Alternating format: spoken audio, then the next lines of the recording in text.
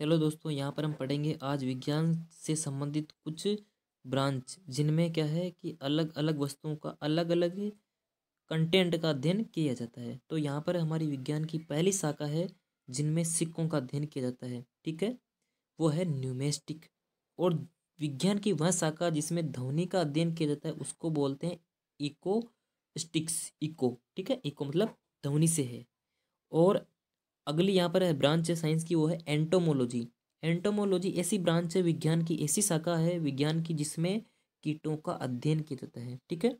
Entomology ऐसी शाखा है, विज्ञान की जिसमें किसका अध्ययन किया जाता है? कीटों का अध्ययन किया जाता है। अगली शाखा यहाँ पर विज्ञान की, ऑर्निथोलॉजी। ऑर्निथोलॉजी में क्या है कि पक्षियों का अध्ययन किया जाता है। किसका अध्ययन किया जाता है? पक्षी। पक्षी का अध्ययन किया जाता है, विज्ञान की वह शाखा, ऑर्निथोलॉजी कहलाती है ऑर्थिनोलॉजी कहलाती है, ठीक है? अगली यहाँ पर है सेरिकल्चर सेरिकल्चर जब रेशम कीट का जो पालन है, उनका अध्ययन किया जाता है, उनको बोलते हैं सेरिकल्चर ठीक है यहाँ पर? रेशम के जो कीट है, उनका अध्ययन किया जाता है, उसको बोलते हैं ब्रांच को सेरिकल्चर ठीक है? अगला अगला है इम्पोर्टेंट एपिकल्चर एपिकल्चर विज्ञान की वह शाखा है जिसमें मधुमक्खी, जो बी होती है बीज मधुमक्खी उसका अध्ययन किया जाता है। मधुमक्खी जो उनका पालन, उनका अध्ययन किया जाता है, वो है एपीकल्चर। ठीक है? अगला अगला यहाँ पर कि हॉर्टिकल्चर क्या है? हॉर्टिकल्चर विज्ञान की वह शाखा जिसमें फलों का जो उत्पादन है, ठीक है, वो है हॉर्टिकल्चर। और यहाँ पर आ गया पिसिकल्चर। पिसिकल्चर मछली से संबंधित है ब्रांच विज्ञान की। तो विज्ञान की वह शाखा जिसमें मछली पालन किया जाता है, वह है पिसिकल्चर। ठीक है? मछली संवर्धन। और माइकोलॉजी है, जिसमें कौकों का अध्ययन किया जाता है, वह विज्ञान की होती है ब्रांच कौन सी? माइकोलॉजी जिस माइकोलॉजी विज्ञान की वह शाखा जिसमें कौकों का अध्ययन किया जाता है, ठीक है? जो फंजाई होती है, उसका।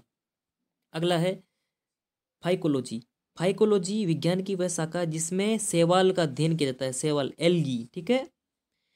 और अगली है, अगली ब्रांच यहाँ पर दी गई है कि पोमोलॉजी क्या है? पोमोलॉजी विज्ञान की वह शाखा है जिसमें फलों का अध्ययन किया जाता है, ठीक है? जो फल है, फ्रूट है, उनका अध्ययन किया जाता है। उस विज्ञान की शाखा को बोलते हैं पोमोलॉजी, ठीक है? पोमो संबंधित है फल से और लॉजी का मतलब होता है अध्ययन, फलों का अध्ययन। और यहाँ पर है डेंड्रोलॉजी डेंड्रोलॉजी विज्ञान की वह शाखा जिसमें जो वृक्ष है, झाड़ी हैं, उनका अध्ययन किया जाता है, उसे बोलते हैं डेंड्रोलॉजी। और जो सरप होते हैं अगली है, यहाँ पर वैज्ञानिक शाखा सरप। सरप से संबंधित जो अध्ययन है उसे बोलते हैं ओफियोलॉजी। क्या बोलते हैं? ओफियोलॉजी। और जो मछली का अध्ययन किया जाता है, विज्ञान की वह शाखा कहलाती है इक्थियोलॉजी। इक्थियोलॉजी। ठीक है? अगला है, यहाँ पर है एंथोलॉजी। एंथोलॉजी, जब पुष्पों का अध्ययन किया जाता है, जब फ्लोर है, जो पादप के फ्लोर आते हैं, उनका अध्ययन किया जाता है ना तो वो कहलाता है एंथोलॉजी। ठीक है? क्या कहलाता है? एंथो लोजी एंथोलॉजी ठीक है? अगला है, चिपकलिया होती है जो लिजार्ड है, इंग्लिश में बोलते हैं चिपकली को लिजार्ड तो विज्ञान की वह शाखा जिसमें चिपकलियों का अध्ययन किया जाता है, उसे बोलते हैं सोरोलॉजी क्या बोलते हैं? सोरोलॉजी ठीक है?